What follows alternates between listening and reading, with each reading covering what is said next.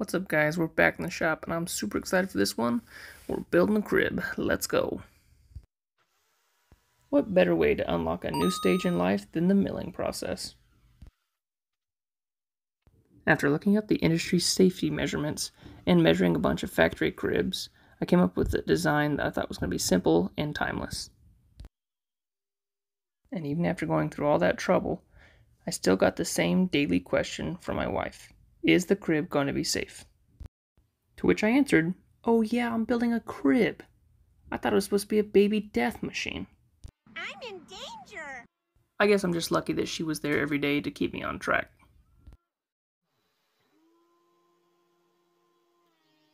After finishing the milling process, I started with what was going to be the box spring that was going to hold the mattress to the crib.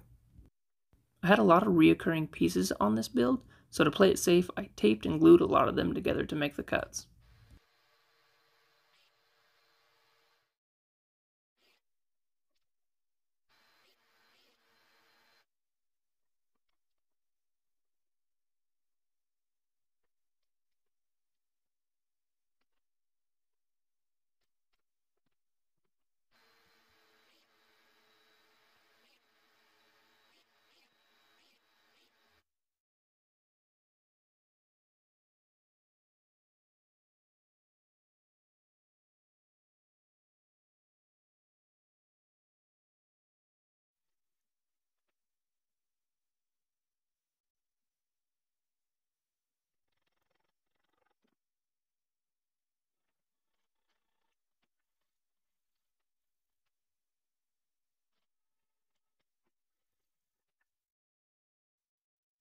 After finishing the frame, it was time to throw in the slats of the box spring that would be the support of the mattress.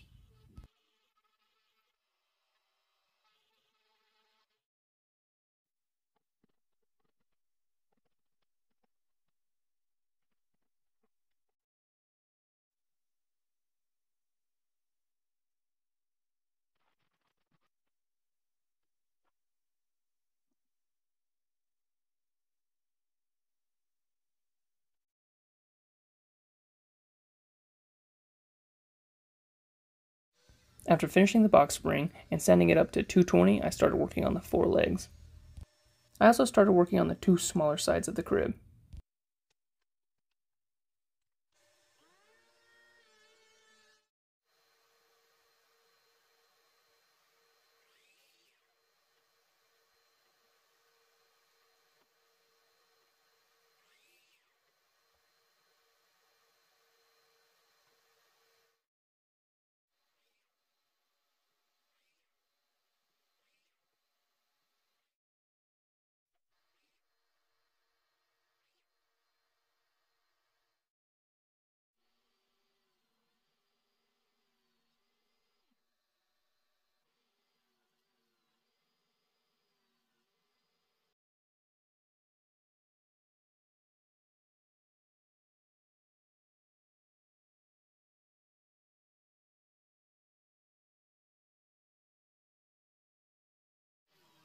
After getting those four sides done, it was time to start working on the rungs, and this was easily the dumbest part of the whole process. It took almost as long as sanding.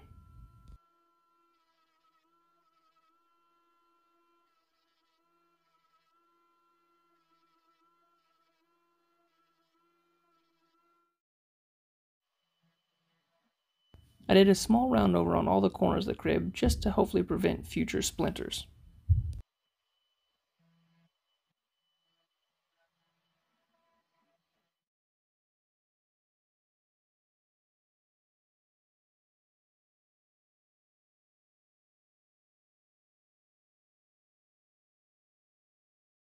This part of the process was very challenging, but probably the most fun. I really got to test my woodworking skills and push my limits.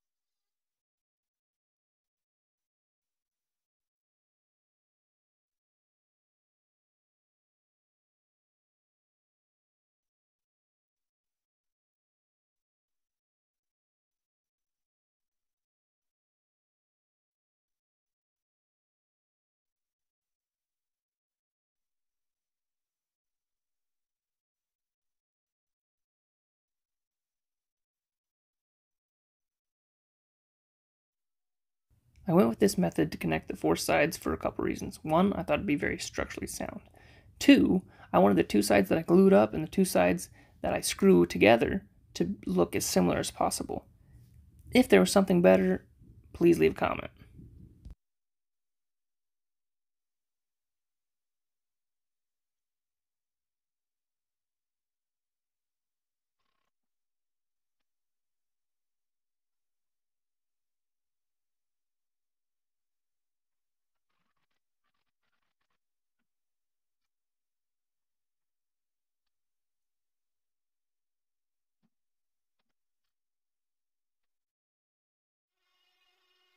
Now I'm rounding out the two sides that won't be glued together. I made them a little bit wider just so after a couple coats of finish and clear coat, they'd still be able to slide in and out together and screw together just fine. I was really trying to make this a piece that I could take apart and put into storage after he grew out of it.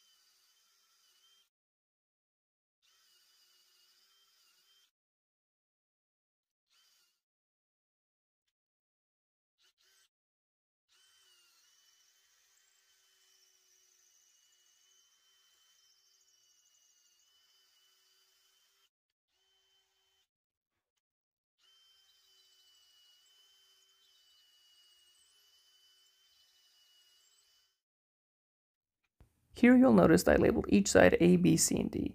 And that's just because I didn't quite trust my drilling ability, and I wanted to make sure that down the road I'd still be able to get this thing back together.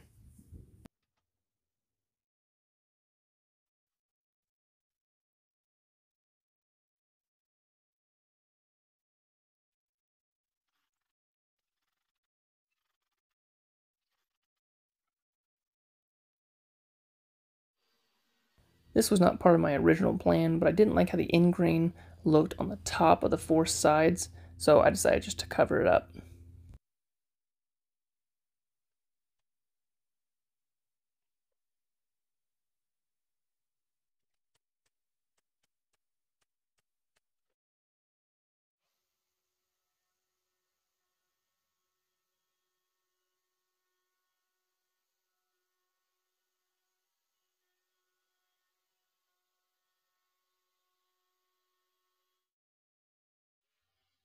These aluminum L-beams serve a couple purposes. One, I thought they were going to be a little stronger than just wood.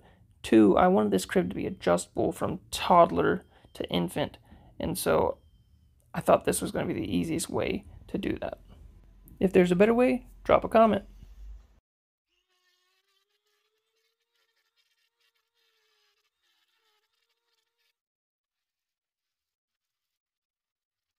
I also end up painting these black, that way you don't see them as well.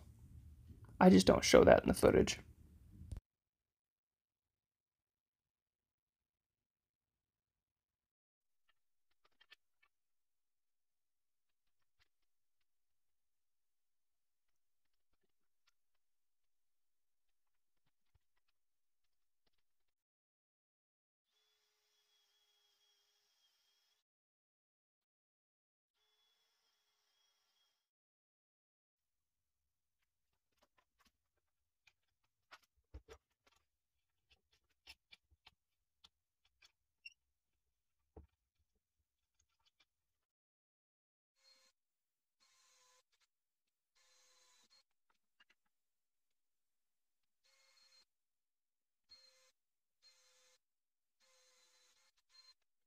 By this point, I was about 98% done with the crib, and my wife reminded me that I needed to make an arm to hold one of those dangly things. So this was not part of the original plan, but I think it turned out alright.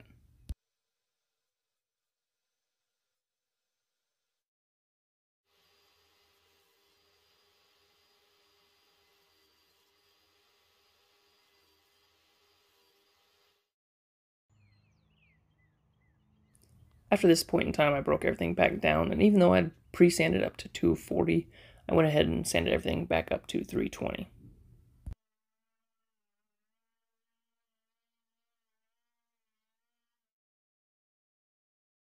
We ended up deciding, and by we, I mean she ended up deciding on a tung oil finish, and after the first coat, I sanded with 400 before applying the second.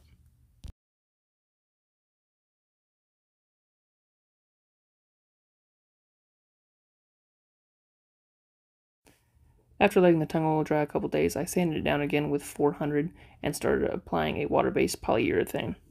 I applied three coats of this, sanding with 600 between each one and then after the final coat, I hit everything with a thousand grit before wiping it down.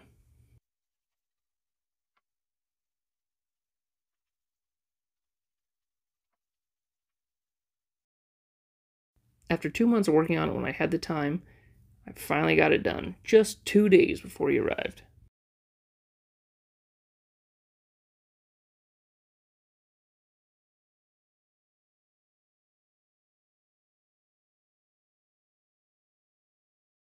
As always, guys, thanks for watching. If you think I earned it, please hit that like and subscribe button. Or if you just want to help me feed this new baby, hit that like, subscribe, and send it to a couple friends. We'll see you next time when I'm back in the shop.